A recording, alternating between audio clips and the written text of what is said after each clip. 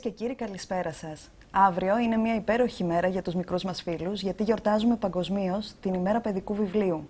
Και είμαι πολύ χαρούμενη που έχω σήμερα κοντά μου την συγγραφέα της κυρίας Συντορέ, Μαρία Καριωτάκη. Καλησπέρα. Καλησπέρα, ευχαριστώ για την πρόσκληση. Καλή αρχή στην εκπομπή σας. Μαρία μου, να ξεκινήσουμε λίγο από την ημέρα παιδικού βιβλίου που ξέρεις και εσύ περισσότερα.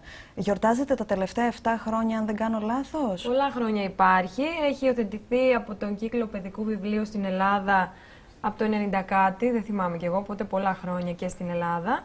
Και είναι η μέρα γενεθλίων του Hans Christian Andersen, οπότε είναι ένας αγαπημένος παραμυθάς των παιδιών και των μεγάλων. Και έτσι λοιπόν ε, είναι η μέρα που θυμόμαστε πόσο σημαντικά είναι τα βιβλία, τα παιδικά βιβλία για τα παιδιά και τους γονείς και τους εκπαιδευτικούς, αλλά και κάθε μέρα βέβαια πρέπει αυτό να το σκεφτόμαστε. Ναι, πραγματικά κάθε μέρα πρέπει να γιορτάζουμε το παιδικό βιβλίο. Ε, και νομίζω φέτος ε, το μήνυμα έχει να κάνει με τη βιασύνη της εποχής μας. Ναι, να χαλαρώσουμε. Και αυτό εγώ σήμερα ήθελα να πω και στους γονείς ιδιαιτέρως. Ε, μιας και πλέον έχω γίνει και εγώ μαμά και έχω ε, προσωπική εμπειρία σχετικά με αυτό. Οπότε αλλιώς είναι να τα λέω έξω από το χώρο και αλλιώς είναι τώρα που έχω μπει στο χώρο. Σε άλλαξε, άλλαξε την άποψή σου. Ε, πάντα θεωρούσα το βιβλίο πολύ σημαντικό για τα παιδιά. Ε, απλώς τώρα το είδα και στην πράξη, γιατί το έλεγα στους γονείς ως δασκάλα, γιατί είμαι εδώ και 10 χρόνια εκπαιδευτικός. Το έλεγα και ως συγγραφέας, αλλά τώρα πλέον ως μαμά το βλέπω μπροστά μου. Ω εκπαιδευτικός, λοιπόν, ε, που ήσουν ήδη κοντά στα παιδιά, οπότε δεν θα σε ρωτήσω αν, αν θα άλλαζες τη συντορέα ή αν θα την έγραφες διαφορετικά μετά που έγινες μαμά, γιατί ήδη αγαπούσες ναι. τα παιδιά, το ξέρω πολύ καλά. Ε, ως εκπαιδευτικός όμως και ως γονέας πλέον, τι πιστεύεις ότι μπορούν να κάνουν ε, οι γονείς και οι εκπαιδευτικοί για να αγαπήσει το παιδί το βιβλίο; Λοιπόν, ε, είναι στο facebook μία εικόνα που είναι μία μαμά με ένα παιδί στο μετρό και διαβάζει η μαμά και διαβάζει και το παιδί. Και είναι μια άλλη μαμά με το κινητό και το, το παιδί με το τάμπλετ. Και λέει στη διπλανή της, Μα τι κάνεις και το παιδί σου διαβάζει; Οπότε είναι οφθαλμοφανές τι ναι. κάνει. Δηλαδή, αν ο γονιός αγαπάει ή δείχνει τέλος πάντων την αγάπη του για το βιβλίο, δεν, δεν λέω να διαβάζει συνέχεια, γιατί είναι πολύ δύσκολη η καθημερινότητα. Και είναι λογικό οι γονείς να μην προλαβαίνουν να κάτσουν, να χαλαρώσουν και να διαβάσουν ένα βιβλίο. Εγώ το καλοκαίρι είχαμε στην τσάντα θαλάσσης ένα βιβλίο όλο το καλοκαίρι και ήταν το όνειρό μου να χαλαρώσω λίγο στη ξαπλώστρα και να το διαβάσω και αυτό δεν έγινε. Οπότε ξέρω και καταλαβαίνω ότι δεν μπορούμε να πούμε στους γονείς άντε διαβάστε βιβλία για να διαβάζουν τα παιδιά σας, αλλά να δείχνουν ότι προς τα βιβλία έχουν μία στάση θετική, ότι τα θεωρούν σημαντικά ε, και όσο μπορούν να διαβάζουν και να διαβάζουν και στα παιδιά τους παραμύθια. Εσύ όμως κατάφερες να φέρεις τα παιδιά πιο κοντά στο βιβλίο, διότι κατάφερες να κάνεις και ένα πιο διαδραστικό σκηνικό γύρω από το βιβλίο. Δηλαδή, στα βιβλία σου έβαλες και μουσική στο πρώτο με την μουσική ορθογραφία, αλλά και την αφήγηση στο δεύτερο με τη γραμματική. Ναι. Ε, όπως επίσης έκανες και θεατρικό. ε, θέλω να συζητήσουμε λίγο για το βιβλίο της Συντορέ και πώς θα κατάφερες να τα συνδυάσεις όλα αυτά, αλλά πρώτα θέλω να περάσουμε να δούμε ένα βίντεο να πάρουμε μια πρώτη ιδέα για το τι έχεις κάνει. Ωραία. Ε, είναι στο... Ε, έχουμε ένα τεχνικό θέμα, ε, θα το δούμε μετά. Ε, εσύ λοιπόν έκανες ε, τη συντορέ, πέρα από το γράψιμο προχώρησες λίγο παραπάνω. Θα μου πεις λίγο πώς το σκέφτηκες όλο ναι, αυτό; Ναι, έχω εδώ και τα βιβλία μου, να τα δούμε. Έχω πολλά βιβλία, τα έφερα από το σπίτι, από τη συλλογή μας. Ε, αυτά είναι τα βιβλία που έχω γράψει και είναι για να μαθαίνουν τα παιδιά ορθογραφία και γραμματική με τραγούδια.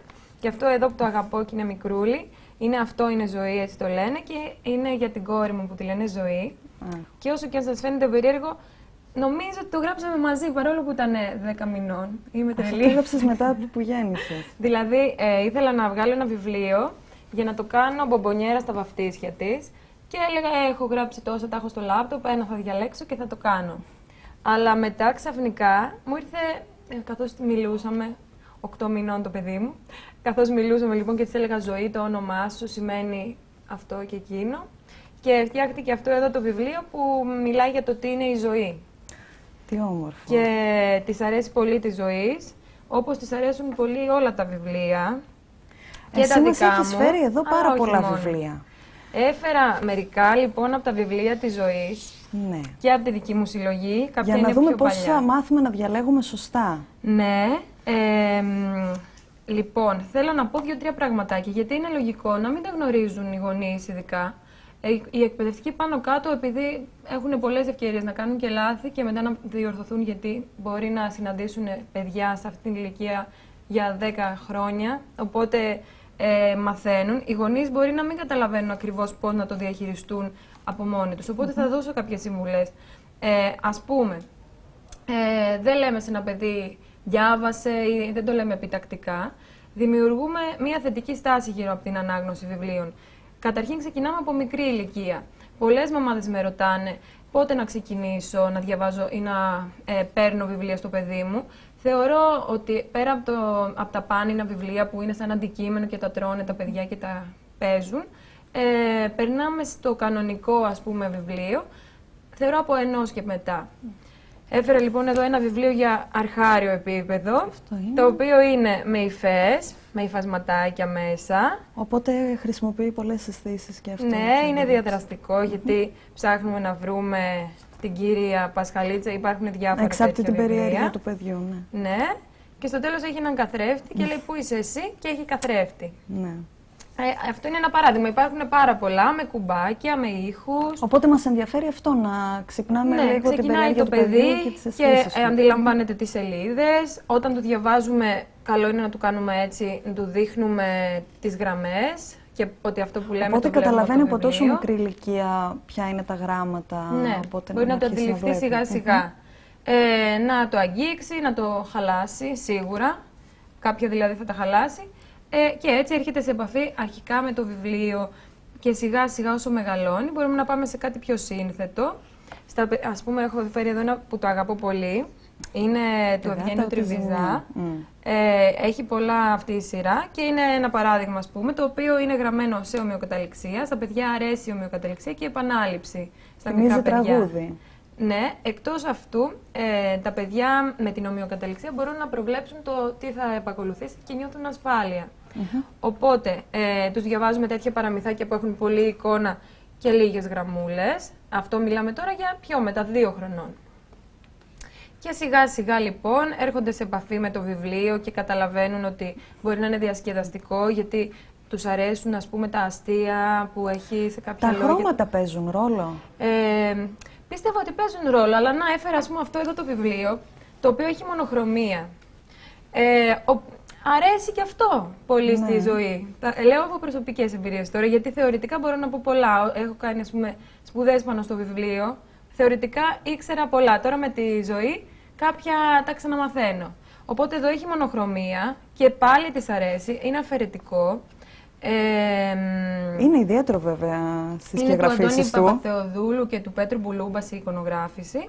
Και ε, της άρεσε και αυτό πάρα πολύ. Άρα του- ε, τους αρέσουν βασικά τα παράξενα. Δηλαδή, γιατί έχει εδώ διαφορετικό. μια καρδούλα, γιατί έχει εδώ το συννεφάκι, ανακαλύπτουν, θέλουν να παρατηρούν.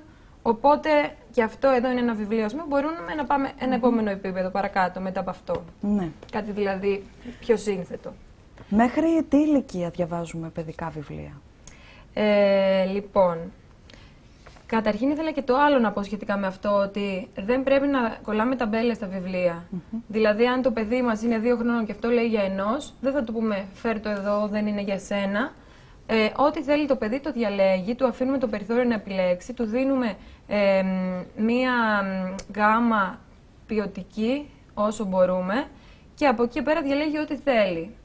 Και η αλήθεια είναι ότι και ενήλικες πολλές φορές χαίρονται άμα διαβάσουν Βέβαια, παιδιά, εγώ, ας παιδικά πούμε, βιβλία. αυτό το βιβλίο, εγώ κάθομαι στη- στην παραλία άνετα να το διαβάσω δύο Αυτό ώρες. είναι το ωραίο που πρέπει να βρεις εσύ την ιστορία. Ναι, πρέπει να αυτό είναι ένα κάνεις. καταπληκτικό βιβλίο του Ευγένιου Τριβιζά, Ναι, πολύ τα 88 έξυπνο. τολματάκια, ε, το οποίο ε, δεν ξέρω αν το γνωρίζει το κοινό. Πραγματικά, εάν δεν το έχετε εξεφυλίσει, ε, πρέπει να το κάνετε. Ε, σε όποια ηλικία και αν είναι τα παιδιά, από τώρα, ας πούμε, μ, από αρχή-αρχή, αν έχετε μικρό παιδάκι, έως και τέλος του δημοτικού, δεν υπάρχει περίπτωση να μην ε, τους τραβήξει το ενδιαφέρον, διότι επιλέγουν τη συνέχεια της ιστορίας, ε, διαλέγουν θέλεις να κάνει αυτό ή εκείνο η ηρωίδα μας. Και ανάλογα με την επιλογή τους, ξεφυλίζουν και πάνε σε άλλο νούμερο σελίδας που έχει τα νούμερα εδώ στην άκρη Ναι, ναι. και επιλέγουν. Και διαλέγουν την απάντηση και ανάλογα Οι τους ιστορίες στέλνεις που σε είναι άλλη μέσα σελίδα. δεν ξέρω, μπορεί να είναι πάνω από 50. Δεν ξέρω πόσες είναι. Το έχω διαβάσει πάρα πολλές φορές και μπορεί να μην έχει τύχει να τι έχω Κάθε διαβάσει φορά έχει και όλες τις διαφορετικό ιστορίες. τέλος. ε, Ναι, βασικά, και διαφορετική συνέχεια. Και έχω και επίσης μία βιογραφία. Ε, αυτή εδώ η βιογραφία είναι γραμμένη σε πρώτο πρόσωπο και θεωρώ ότι στα μικρά παιδιά είναι καλό να μ, επιλέγουμε βιογραφίες. Αυτό είναι του γυναικών. Einstein, Αυτή ε; είναι η βιογραφία του Einstein. Είναι ε, σε πρώτο πρόσωπο και εστιάζει και στην παιδική ηλικία για να ταυτιστεί ο αναγνώστης. Ε, μ, πιστεύω ότι οι βιογραφίες εμπνέουν τα παιδιά, βλέπουν πώς το έκανε κάποιος και ε, θέλουν να κάνουν και αυτά κάτι, να γίνουν εφευρέτες, να γίνουν μπαλαρίνες ή κάτι τέτοιο. Ένα πρότυπο λοιπόν, αρχίζουν να Ναι, γνωρίζονται με αποκτούν αυτό. πρότυπα και μ, τα εντυπωσιάζει η ιστορία κάποιου άλλου. Τέλεια. Πάρα πολύ ωραία. Νομίζω ότι λίγο πήραμε μια ιδέα στο πώς θα διαλέγουμε το σωστό παιδικό βιβλίο για το παιδί μας. Ε, όσον αφορά λοιπόν τη Συντορέ, ε, έχουμε το θεατρικό έργο που έγινε η πρώτη, το πρώτο musical στην ε, ορθογραφία. Ναι, κυκλοφόρησε Και- το 2014 από τις εκδόσεις Ήτανος και τα δύο βιβλία και έγινε η πρώτη παράσταση δειλά-δειλά και αφού μ, έτσι είδαμε πώς γίνεται και ήμουν λίγο πιο έμπειρη σε αυτό, κάναμε και τη δεύτερη παράσταση η οποία παίζεται, μ, έχει παιχτεί Αυτό σε ακόμα. θέατρα της πόλης μας εδώ στο Ηράκλειο, ε, παίζεται σε σχολεία ε, στην Κρήτη γενικά και θα πάμε και στην Αθήνα ε, σε μία εβδομάδα. Τέλεια, Ναι. υπέροχα. Οπότε σε όλη την Ελλάδα ταξιδεύει η κυρία Ναι, Συντορέ και η να αλήθεια είναι πάμε πως ναι. λίγο να πάρουμε μια ιδέα κι εμείς για το τι έχεις κάνει σε αυτή την παράσταση. Να δούμε. Γεια σας παιδιά, είμαι η κυρία Συντορέ και ήρθα σήμερα εδώ για να σας πω παραμύθια. Παραμύθια που μέσα τους κρύβουν και λίγη γραμματική.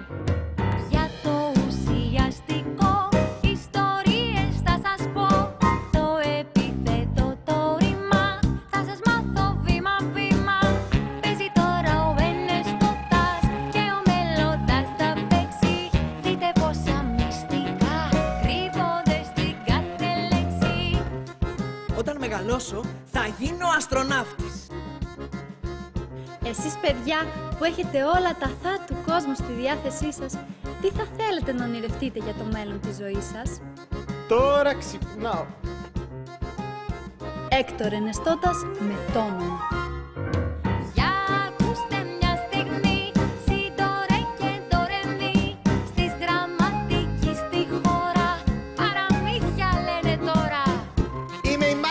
Μάγισσα χωρίστρα Ντιν Νταν.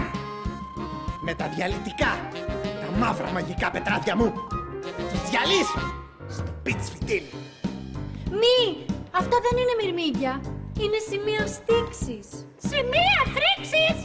Όποιος δεν χρησιμοποιεί πολλά επίθετα, μου τη δίνει στα νεύρα. Εσείς παιδιά, με ποια επίθετα θα περιγράφατε το φόρεμά μου;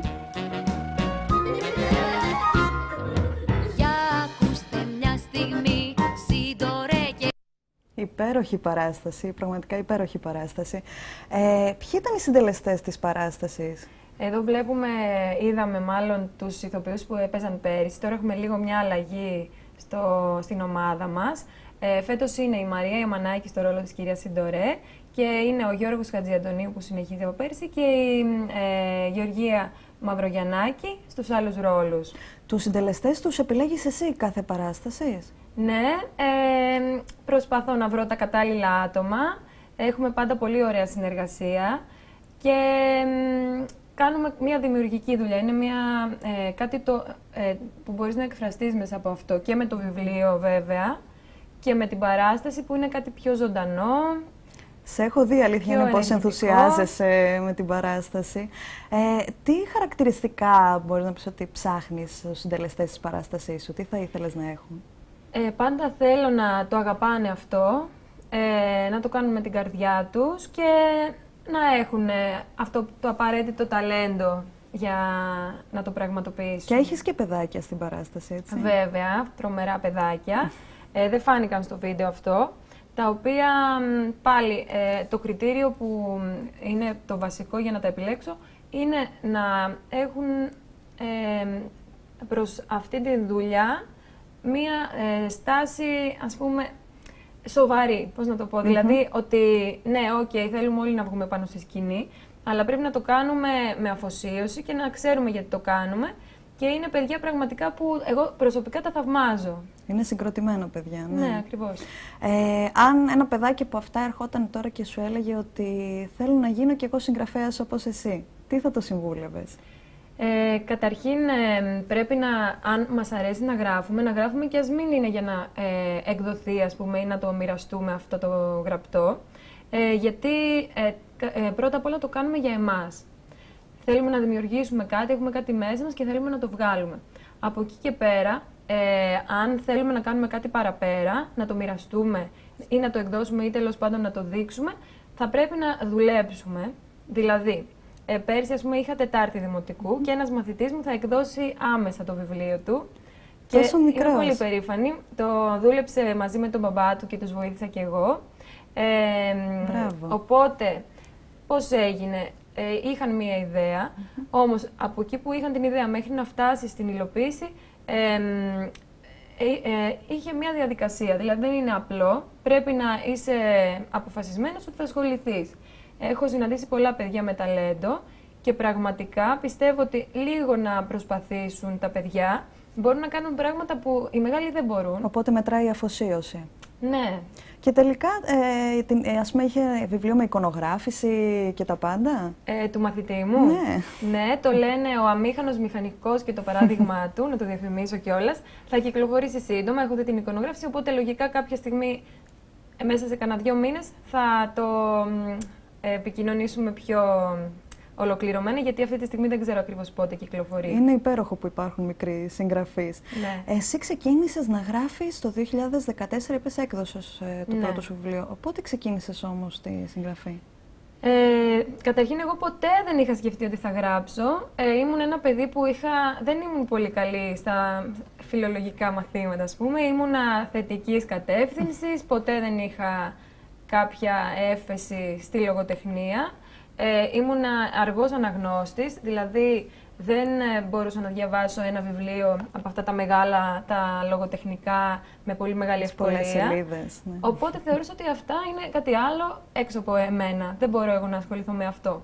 Όμως είχα πολύ φαντασία και μου άρεσε πολύ να γράφω ποίηματα. Είχα πάντα το τετραδιάκι μου από πρώτη δημοτικού με τα ποίηματά μου.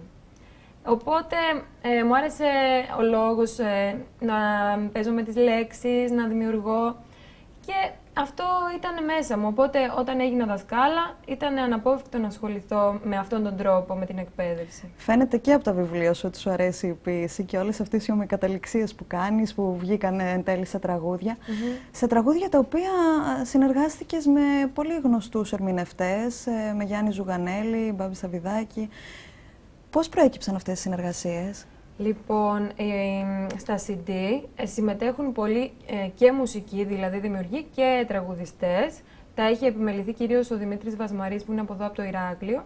Και αυτοί έτσι πιο γνωστοί, ο Μουζουράκης, ο Ζουγανέλης, ο Σαβιδάκης, ε, μ, θεωρώ ότι όταν ε, τους ζήτησα να συνεργαστούμε και να συμμετάσχουν ε, σε αυτή τη δουλειά, Πιστεύω, γιατί δεν τους έχω ρωτήσει, πιστεύω ότι ε, τους φάνηκε ενδιαφέρον το γεγονός ότι μ, ε, είναι με ένα μέσο για να μάθουν τα παιδιά κάτι το οποίο είναι μεν ε, απαραίτητο, αλλά από την άλλη είναι και λίγο κουραστικό.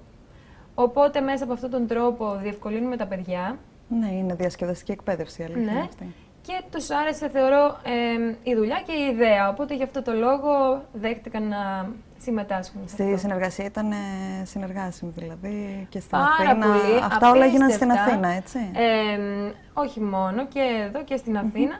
Ε, απίστευτα συνεργάσιμοι. Ε, δεν περίμενα τέτοια στάση. Δηλαδή, ο Πάνος Μουζουράκης του λέ, ε, μου στέλνει το πρώτο, την πρώτη δοκιμή. Λέω, ναι, ναι, εντάξει. Μου λέει, πες μου κορίτσι μου, μου λες ναι, ναι, εντάξει. Αν δεν σ' αρέσει κάτι, θα το ξανακάνω. Ε, του λέω, ε, όχι, όχι. Είσαι σίγουρη, λέω, ε, εντάξει, αυτό αν είναι. Και μου έστειλε άλλες τρεις φορές. Αν δεν μου το έλεγε, εγώ θα το έλεγα με την πρώτη φορά, ωραίο. Αλλά το βελτίωσε κι άλλο. Οπότε ήταν συνεργάσιμη ε, και πολύ προσιτή. Ωραία. Ε, θέλω να μου πεις λίγο για τη ζωή σου. Ε, Εσύ ξεκίνησες, ε, είσαι κριτικιά, είσαι από εδώ, ε, και έφυγες κάποια στιγμή για Θεσσαλονίκη; Ναι, σπούδασα Εκεί εκεί, σπούδασες. παιδαγωγικό. Ε, διορίστηκα εδώ, στο Ηράκλειο Δασκάλα. Έκανα μεταπτυχιακό στη Ρόδο παιδικό βιβλίο. Ε, πήγα και στο Βερολίνο πιο πριν ε, στο παιδαγωγικό εκεί.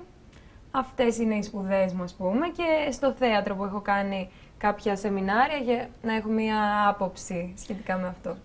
Όλα σχετικά με αυτό που έχεις γράψει και με τα δύο βιβλία. Ε, θα ήθελες να παίξεις στο θέατρο; Θα έκανες την κυρία Σιντορέ; Ε, δεν θα την έκανα ποτέ την κυρία Συντορέ και με πειράζει που μου μοιάζει και στις εικόνες, αλλά τι να κάνω. Ε, όχι, όχι, δεν θα έπαιζα την κυρία Συντορέ. Όμως ε, έχω βάλει στους στόχους της ζωής μου, έχω πολλά χρόνια ελπίζω μπροστά μου, οπότε κάποια στιγμή έχω βάλει στους στόχους της ζωής μου να εκτεθώ σε- στη σκηνή γιατί είναι κάτι που με τρομάζει. Παρόλο που μπορεί να φαίνομαι ότι ε, ε, δεν ντρέπομαι ας πούμε, μπροστά στο κοινό, δεν το έχω κάνει ποτέ και θα ήθελα να το δοκιμάσω σαν πρόκληση για μένα. Οπότε έγραψες ένα βιβλίο το οποίο μαθαίνεις στα παιδιά την ορθογραφία μέσα από το τραγούδι και τη γραμματική λοιπόν μέσα από την αφήγηση. Και τα δύο εκπαιδευτικά βιβλία αρκετά τα θυμούνται τα παιδιά. Μετά; Ναι, ε, μου τα λένε οι μαμάδες τους, γιατί εντάξει τα παιδιά τους αρέσουν, αλλά βλέπω από τις μαμάδες ότι του- τους είναι πάρα πολύ χρήσιμο και ότι α, τους βγάζει από τη δύσκολη θέση. Γιατί αναγκαστικά οι μαμάδες στο σπίτι έχουν μια πίεση από το σχολείο και από το ότι θέλουν τα παιδιά τους να είναι καλά και να τα κάνουν όλα όπως πρέπει. Οπότε έχουν μια εναλλακτική επιλογή να το διασκεδάσουν και λίγο. Ε, και τα βιντεάκια που υπάρχουν στο YouTube ε, και το οπτικοποιούν κιόλας και δείχνουν και τα γράμματα και τις λέξεις. Οπότε με όλα αυτά έχουν ε, κάτι διαφορετικό μέσα στην ε, φαρέτρα αυτή που πρέπει να έχουν οι γονείς, γιατί είναι πολύ απαιτητική. η- ο ρόλος τους έχει πάρα πολλές απαιτήσεις και πραγματικά ε, πρέπει να ε, αναζητούν λύσεις. Διαβάζουν τα παιδιά όμως αυτή την εποχή, θεωρείς, του διαδικτύου; Ε, εξαρτάται από το παιδί. Σίγουρα το βιβλίο είναι κάτι ελκυστικό για τα παιδιά. Έχει όλα τα στοιχεία της παιδικής ηλικίας, όπως είναι η φαντασία, η δημιουργικότητα, ε, η περιπέτεια, το όνειρο, το, α- το μεταφυσικό, το εξωπραγματικό και τα παιδιά ε, συνήθως μέσα στα βιβλία βρίσκουν τον εαυτό τους, δηλαδή ταυτίζονται με τους ήρωες. Θεωρώ ότι ε, τους αρέσει πολύ να διαβάζουν. Όμως, επειδή είμαι και στο σχολείο υπεύθυνη της σχολικής βιβλιοθήκης για όλες τις τάξεις, όχι μόνο για τη δική μου, βλέπω ότι όταν πηγαίνουν ας πούμε, τα παιδιά σε μεγάλες τάξεις του δημοτικού, ε, δεν έχουν τον χρόνο. Δηλαδή, παιδιά που ε, τα έβλεπα πέρσι να έρχονται πολύ συχνά, φέτος λέω γιατί δεν έρχεστε και μας έχετε ξεχάσει. Μου λένε δεν προλαβαίνουμε, όλο διαγωνίσματα, εξωσχολικών όλο και- μαθήματα και είναι λογικό σε μια πιεστική καθημερινότητα. Πώς να χαλαρώσεις με ένα βιβλίο; Πάντως είπαμε ότι από ενός, ε, ενός έτους τα παιδιά μπορούν να πιάσουν το πρώτο τους βιβλίο, οπότε όλες αυτές οι εικόνες που βλέπουμε με παιδάκια σε κούνιας να κρατάνε τα τάμπλετ ε, κτλ. μπορούν να ακυρωθούν απλά δίνοντας τους ένα βιβλίο ή έστω μπορούμε να βάζουμε στο YouTube ασφαλή, δι- ε, ασφαλή βίντεο όπως ε, τα δικά σου που θα μαθαίνουν μέσα από αυτά ορθογραφία. Γιατί να πούμε ότι από τα βιβλία, τις μουσικές και τα τραγούδια τα έχεις όλα ανεβασμένα στο YouTube για όποιον... Τα περισσότερα, όχι όλα. Τώρα επιθυμεί. προσπαθώ, γιατί τα βίντεο τα φτιάχνω εγώ και προσπαθώ έτσι λίγο-λίγο να φτιάξω παραπάνω βίντεο για να ανεβάσω τα τραγούδια.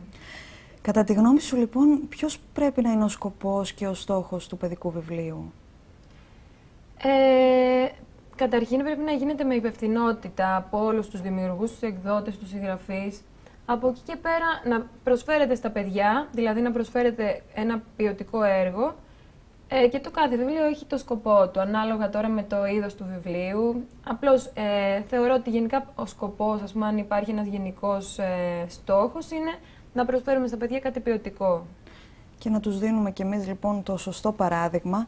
Ε, εσύ ως Μαρία, από τα βιβλία που έχεις διαβάσει στη ζωή σου, ποια σου έκαναν την περισσότερη εντύπωση; Ε, λοιπόν, όταν ήμουνα έτσι πιο στο δημοτικό ας πούμε, διάβαζα πολύ Ζορ Σαρή, οπότε μου αρέσει πάρα πολύ και μετά όταν μεγάλωσα ξαναδιάβασα τα ίδια βιβλία, γιατί ήθελα να τα δω και από άλλη ματιά και κατάλαβα γιατί μου άρεσαν, γιατί γράφει από την καρδιά της και θεωρώ ότι όταν ένας συγγραφέας γράφει ανεπιτίδευτα, γράφει μ, με λόγια, δηλαδή μπορεί να πει το πιο απλό πράγμα και να το πει με λόγια που σε ταξιδεύουν. Ε, ε, όπως είναι και ο Νίκος Καζαντζάκης, ας πούμε, που όταν διαβάζω Καζαντζάκη, δεν, δεν μπορώ να καταλάβω τι είναι αυτό που τον ξεχωρίζει. Μάλλον καταλαβαίνω τι είναι αυτό που τον ξεχωρίζει και δεν το καταλαβαίνω. Δηλαδή γράφει κάτι απλό.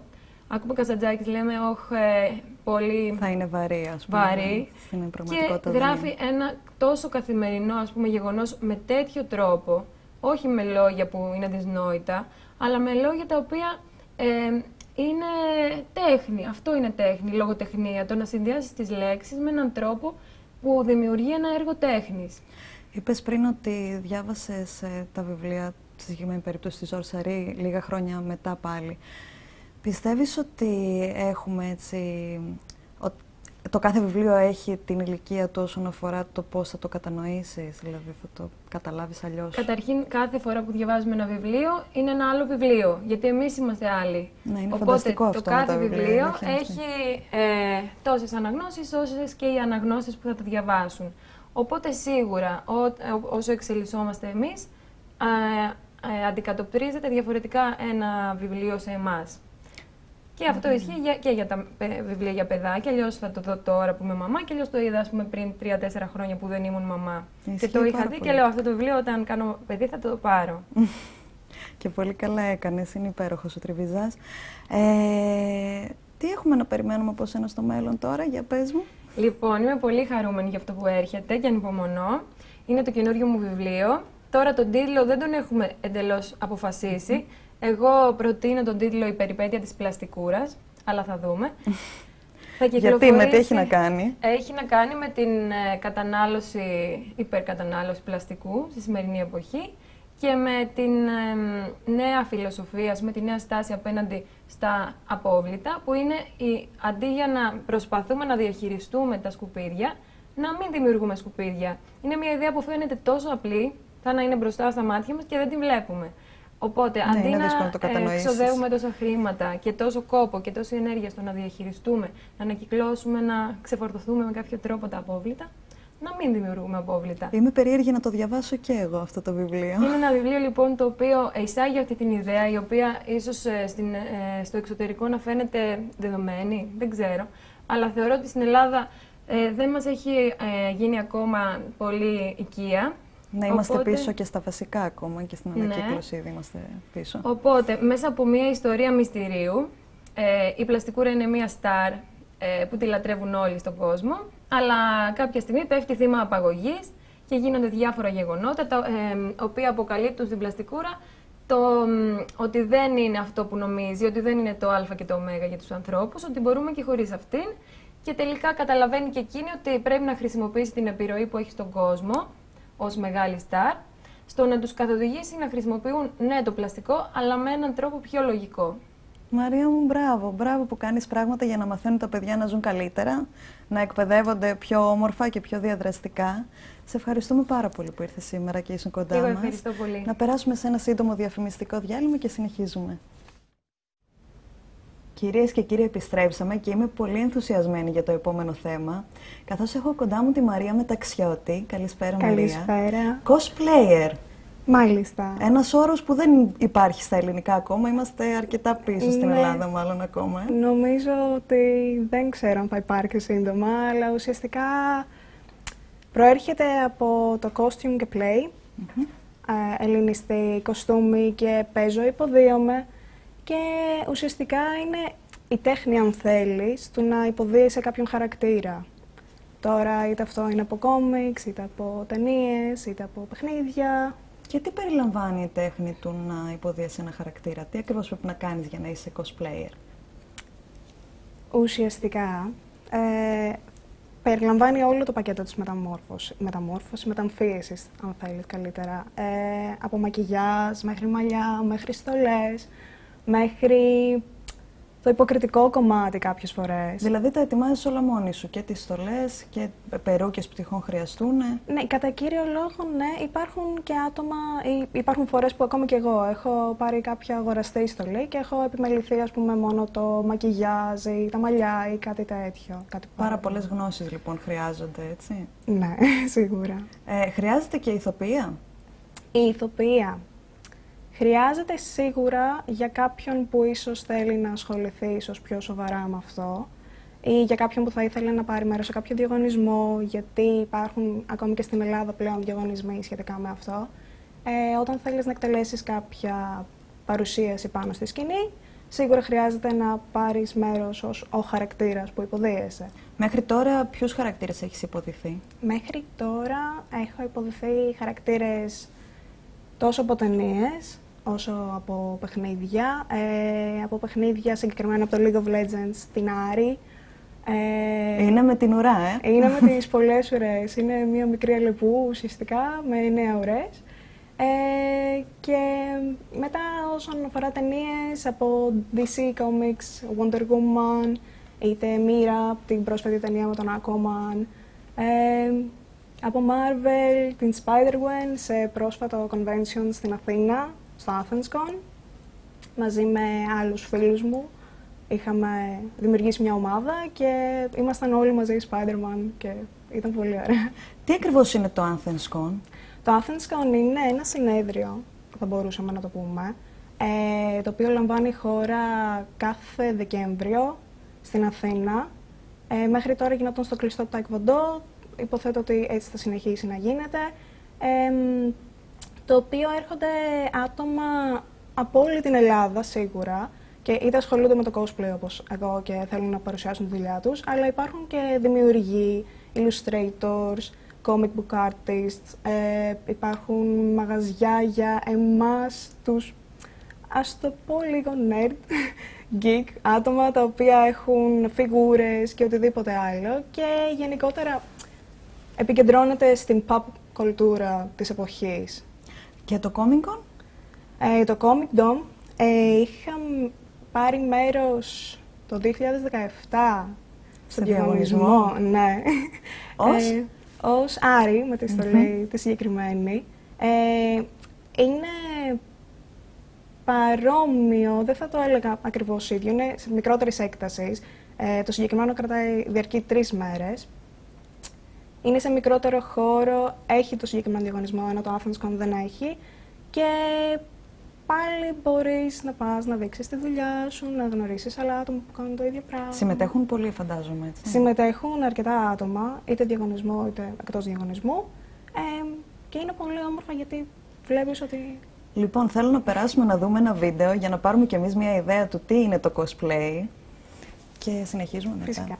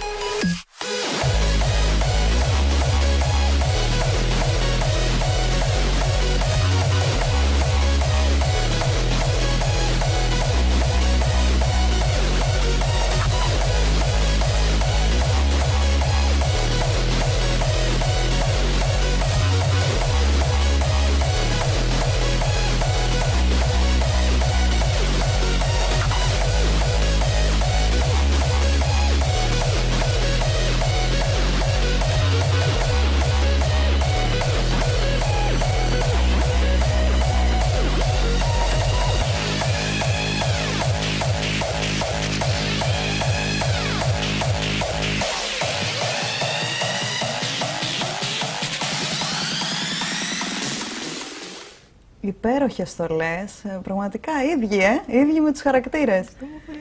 Για πες, τι άλλο κάνετε εκεί; Ε, ουσιαστικά αυτό είχε λάβει μέρος το 2017 και ήταν τρίμερο, όπως είπα και πριν.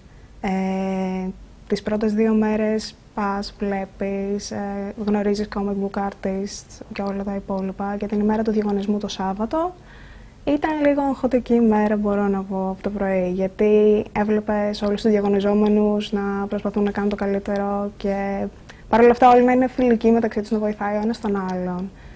Και ήταν ωραίο συνέστημα να βλέπεις ότι υπάρχει τόση καλή χημεία με, μέσα σε αυτό το community, ας πούμε.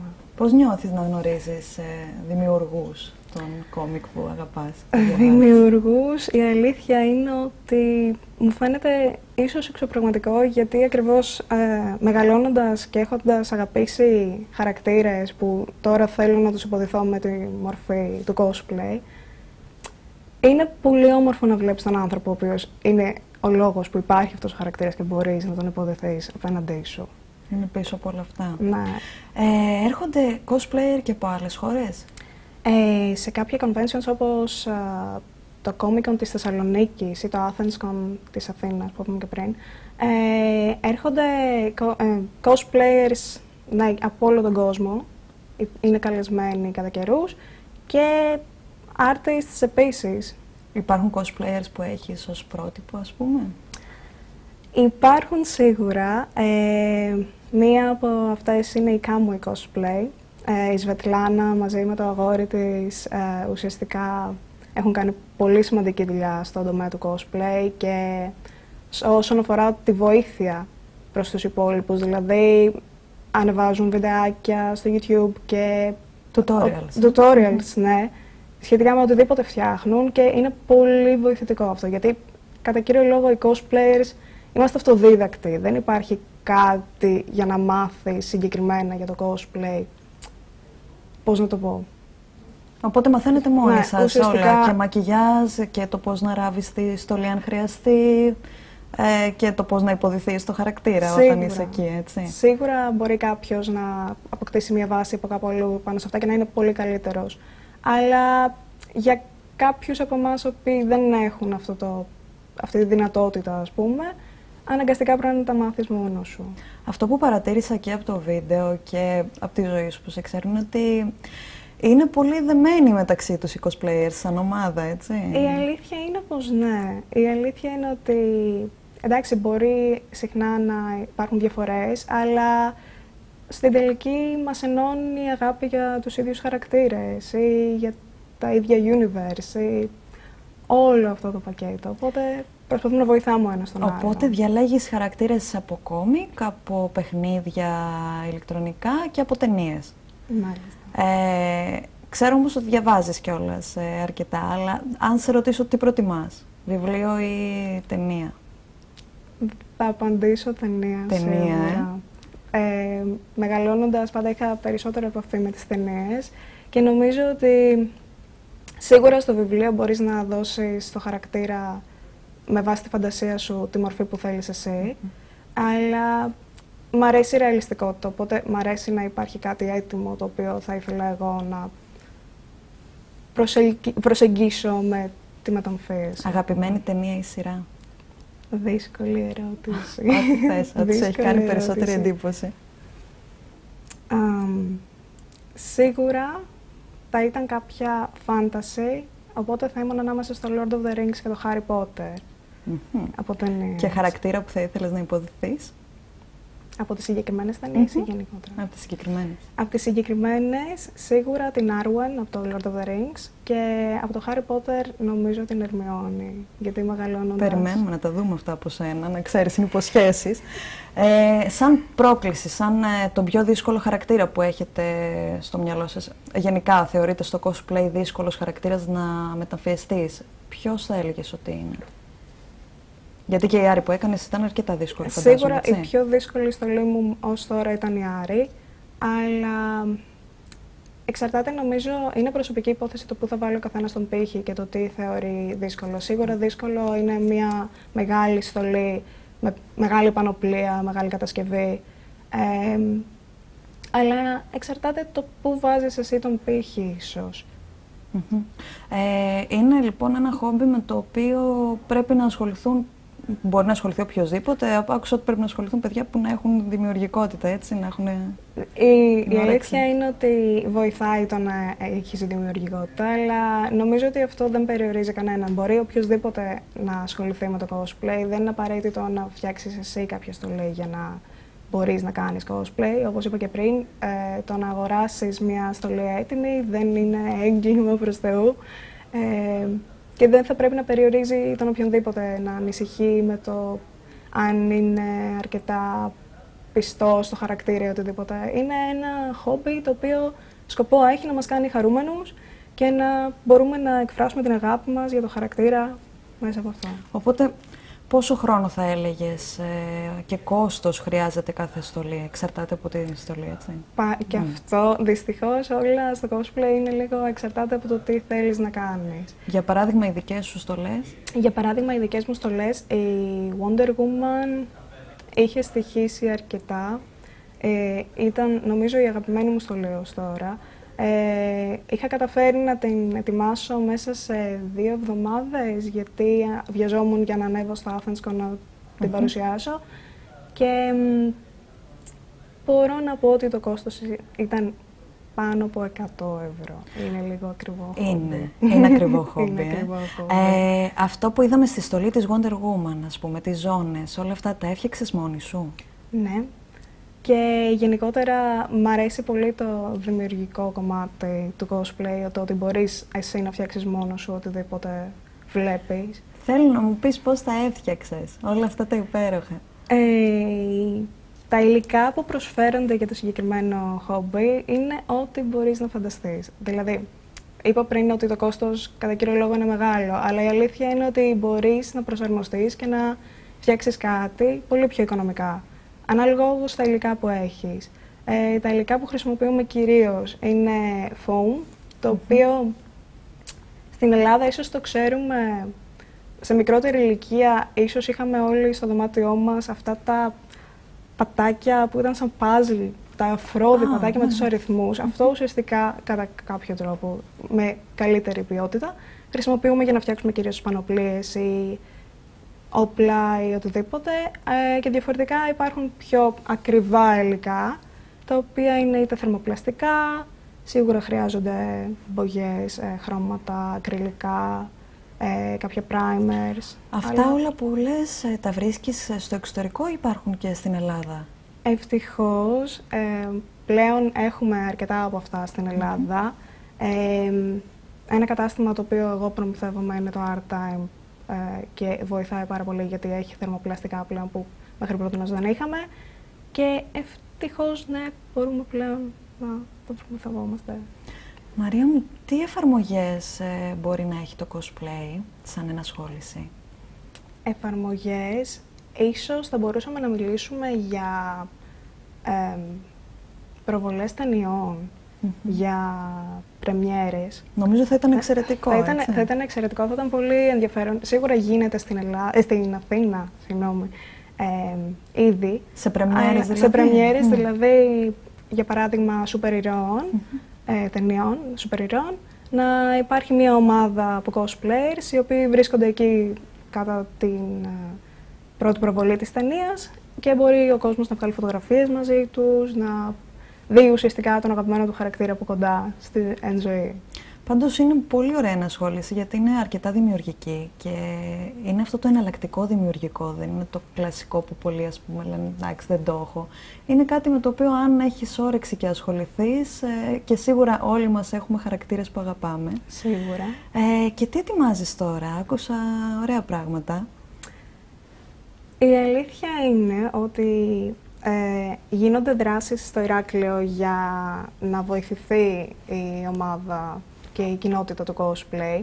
Και είμαστε τυχεροί γιατί το eFantasy ε, έχει συμφωνήσει να ξεκινήσουμε κάποια εργαστήρια, cosplay workshops θα τα πω, ε, στα οποία θα μπορεί να έρχεται οποιοδήποτε, οποιοδήποτε ιδέα και να έχει, να καθόμαστε εκεί όλοι μαζί, εγώ και άλλοι cosplayers που έχουμε κάνει κάποιες στολές, να μπορούμε να βοηθήσουμε τον οποιονδήποτε θέλει να ασχοληθεί με αυτό, να του πούμε συμβουλές, να του δούμε πώς να προσελκύσει το ε, όποιο χαρακτήρα θέλει να δημιουργήσει και γενικότερα να γνωριστούμε κιόλας, που είναι πολύ σημαντικό νομίζω, ώστε να μπορούμε να, βοηθάμε τον, να βοηθάμε ένας τον άλλον και να υπάρχει μια επαφή που σε κάνει, ίσως σου δίνει και motivation για να το κάνεις αυτό περισσότερο. Και να δημιουργηθεί και μια ομάδα cosplayer πιο οργανωμένη στο Ναι. Ηράκλειο, έτσι, γιατί νομίζω στο Ηράκλειο δεν υπάρχει μέχρι τώρα κάτι αρκετά οργανωμένο, έτσι. Ε, είχε γίνει επίσης μια δράση από το eFantasy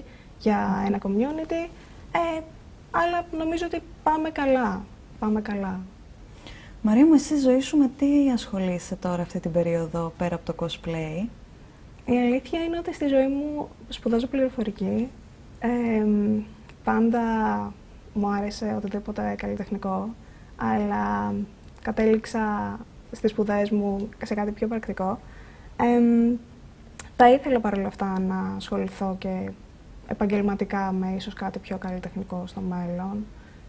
Όπως, έχεις σκεφτεί κάτι; Έχω σκεφτεί για μακιγιάζ και για μεταμφιέσεις, για special effects. Το και ήλπιζα ότι αυτά. θα το πεις αυτό, γιατί είδαμε τις φωτογραφίες σου ότι κάνεις εξαιρετικό μακιγιάζ. Ευχαριστώ πάρα πολύ. Και εύχομαι να καταφέρεις να πετύχεις όλα σου τα όνειρα και να κάνετε και μια όμορφη ομάδα για όσους ψάχνουν κάτι, εθελοντή, κάτι εναλλακτικό σ- όσον αφορά το δημιουργικό χόμπι.